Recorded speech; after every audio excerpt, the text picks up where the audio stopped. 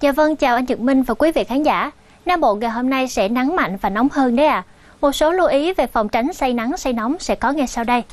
Với khu vực miền Tây Nam Bộ, nóng nhất là Châu Đốc 34 độ. Còn tại các nơi khác, nhiệt độ sẽ phổ biến là từ 32 đến 33 độ. Còn sang đến khu vực miền Đông Nam Bộ, tại các nơi như huyện Đồng Phú, Biên Hòa, Tây Ninh chạm mức nắng nóng 35, 36 độ. Còn tại các nơi Thủ Dầu Một, thành phố Hồ Chí Minh 34 độ.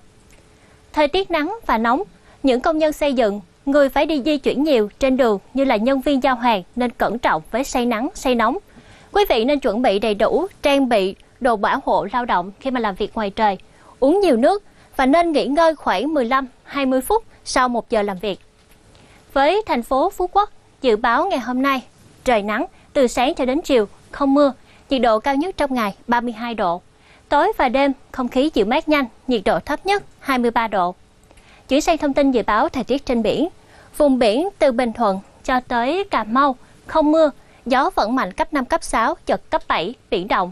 Còn vùng biển từ Cà Mau cho tới Kiên Giang, thời tiết tốt. Hôm nay trời mưa vài nơi, gió cấp 3, cấp 4.